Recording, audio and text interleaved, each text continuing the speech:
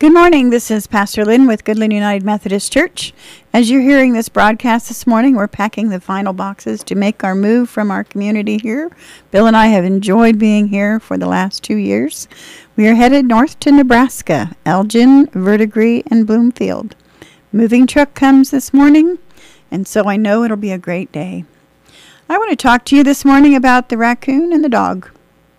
First Peter says, Your enemy, the devil, prowls around like a roaring lion looking to find someone they may devour. When a dog gets the scent of a raccoon, the race is on to see if the dog will catch the raccoon before the raccoon reaches the tree. The raccoon is no match for a large dog, so it runs for its life. But if the raccoon can lure the dog into the water, the table is turned. The raccoon is a better swimmer and is able to get behind the dog. Then it climbs on the dog's back and can drown the dog unless the dog can reach the bank. So, which one do you think is the devil and which one do you think is of the Lord? When we are in the devil's element, we are in danger.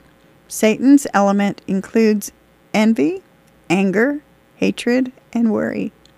When we find ourselves experiencing these things, we are standing on dangerous ground. When we are in our own element as Christians, safe and sound in the church, or at a Bible study, or in a prayer group, Satan has much harder time hurting us. One little word subdues him, wrote Luther prayer, scripture, reading, attendance in church, the honesty with oneself we call confession and the affirmation we call absolution are all part of your element. So we invite you to stay there today. What do you think Martin Luther meant by his words? One little word subdues him in the song, A Mighty Fortress is Our God.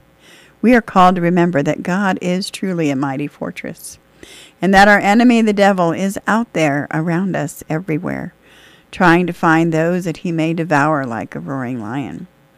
But just like the dog and the raccoon in our story, each one has to use their perfect wit and their will to survive. And so I would like to think that the dog is a Christian and that the raccoon is the devil. And so we need to be watching out for all of those eyes of the raccoons. You know, they stand out so well in the dark. When you're driving down the road, what animal is it that you usually come across in the middle of the night? Because their sight is much better at nighttime. I invite you to stay tuned to your local church, to be in prayer, to take time to read God's Word, and to develop your own sense of self worth as you go through life. This is Pastor Lyn. Have a good week.